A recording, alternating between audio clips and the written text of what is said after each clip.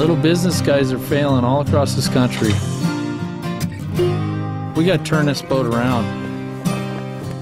I'm hoping that gold mining is the key to that. On this claim, there's a pay streak of gold. It's hard to leave. Hard to leave my heroes. You're about to lose your house, but don't lose faith. You're all millionaires. The only thing is, you gotta get it out of the ground. Not getting crap done because you're so focused on safety all the damn time. Where is the gold? No good, no glory! Get the frick back! Who knows what could go wrong? We're not miners, you know? I think it's gonna work because we're all just crazy enough to hope so. Can a guy risk it all in America anymore? There we go!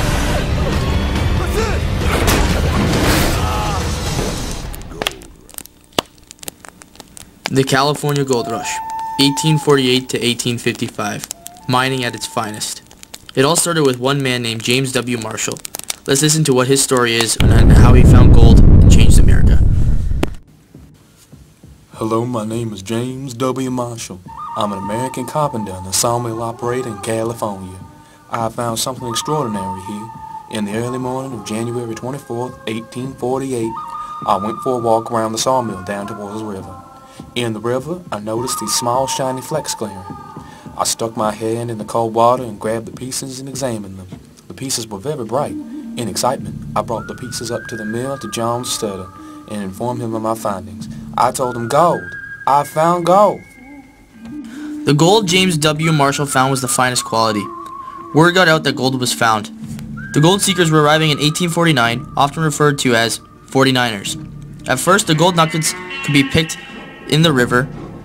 Later on, gold was found by techniques of a pick, shovel, and a pan. That's all a miner need to find success in gold. The game of gold mining is difficult to play. Gold isn't just brought to you. You have to go out and find it. A local gold miner describes the harsh reality of gold mining. Hello, my name is Mike Brown and I'm a gold miner in California.